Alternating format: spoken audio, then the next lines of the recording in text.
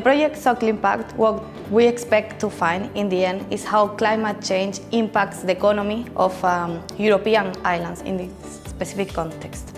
Um, therefore, what we do is to study how the climate change will evolve in each island and to project what will be the main impacts that we will have.